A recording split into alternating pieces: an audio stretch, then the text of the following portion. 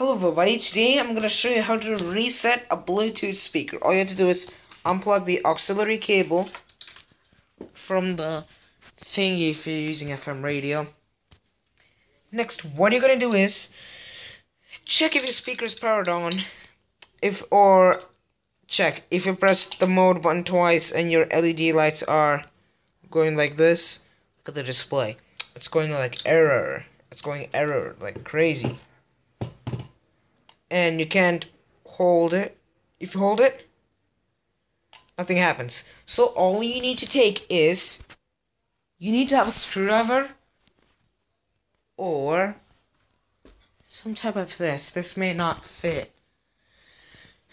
But going into the speaker, let the camera for a second. You're gonna see the Make sure the camera is facing right direction. See the screwdriver can fit. Go on the back of the speaker and press the reset button. When you press the reset button, the speaker will start working again. So after you press the reset button on the back of the speaker, um,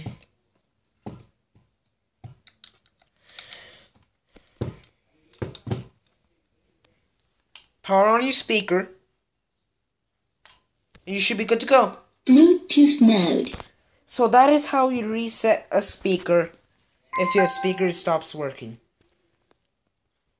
So, that will be it. And thank you for watching.